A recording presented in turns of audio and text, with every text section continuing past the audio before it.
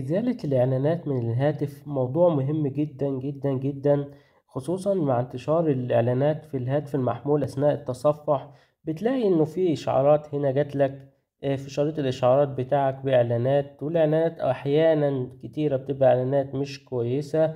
يعني لو أنت مدي الطفل بتاعك الموبايل بتاعك يلعب فيه ممكن الإعلانات دي تظهر قدامه. والإعلانات هي نوعين نوع بيظهر عن طريق الإشعارات اللي بتيجي هنا بتلاقيها فوق وبتظهر معاك بدون أي مبرر ودي بيبقى سببها حاجة من اللي هنقولك عليها في أثناء الفيديو ده وإعلانات من النوع التاني اللي هي بتظهر داخل التطبيقات. في الفيديو ده هديك حل للنوعين بتوع الإعلانات دول اللي هي نوع الإعلانات بتاع الإشعارات اللي بيجي فوق هنا والنوع التاني اللي بيظهر خلال التصفح المواقع أو التطبيقات الموجودة على الهاتف. بس قبل ما نخش في الفيديو لازم تضغط like وتشترك معنا في القناة وتتابعنا هتلاقي كل مفيد وجديد. ويلا بينا على الشرح العملي مباشرة.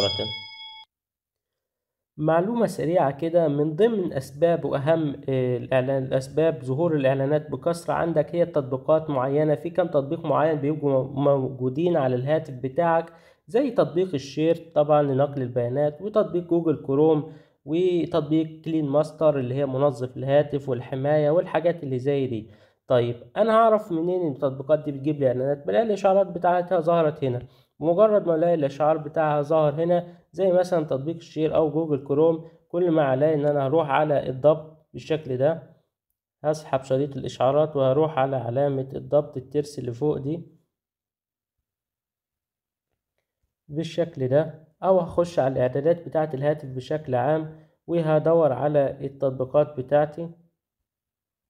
وهنزل لحد ما ألاقي كلمة التطبيقات. هفتح كلمة التطبيقات هخش عليها من الداخل بالشكل ده هلاقي كل التطبيقات بتاعتي.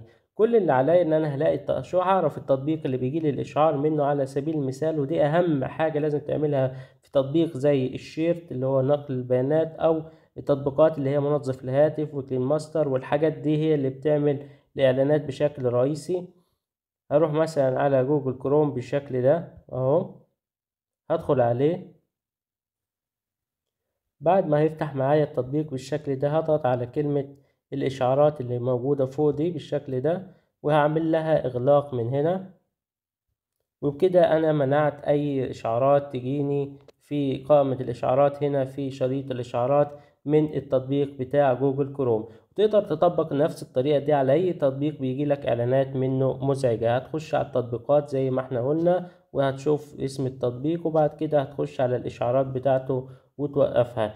دي كانت الطريقة الأولى معانا. طيب الطريقة التانية اللي إزاي تلغي الإعلانات الموجودة داخل التطبيقات نفسها أو الإعلانات اللي بتصفح أنت بتصفح المواقع بتظهر معاك وبتبقى مزعجة بطريقة غير عادية. هخش على الإعدادات بالشكل ده على ضبط الهاتف. زي كده. وبعد كده هروح على كلمة الاتصالات بالشكل ده. وبعد كده هنزل على كلمة المزيد من الضبط.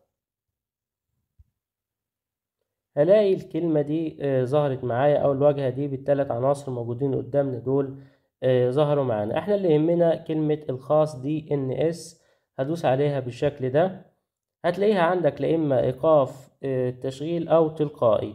أنا طبعا هلغي ده كله وهخليها هضغط على آخر خيار معانا اللي هو اسم المضيف اللي هو ده. هفعل الخيار قصاده بالشكل ده.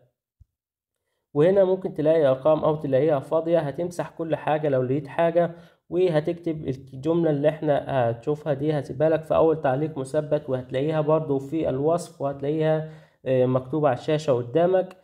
يعني هتحطها زي ما هي كده وهتضغط على كلمة حفظ. هتكتبها زي ما هي في القائمة هنا. بعد اختيار كلمة اسم المضيف هتحطها زي ما قلت لك هسيبها لك في أول تعليق أو في الوصف تحت أسفل الفيديو. وبعد كده هضغط على كلمة حفظ. وبكده لو رحت صفحت أي موقع رحت فتحت أي تطبيق مش هتلاقي معاك إعلانات مزعجة نهائيا. وكمان قدرنا نتخلص من الإشعارات اللي بتجي لنا مزعجة أثناء استخدام الهاتف اللي بتبقى في شريط الإشعارات.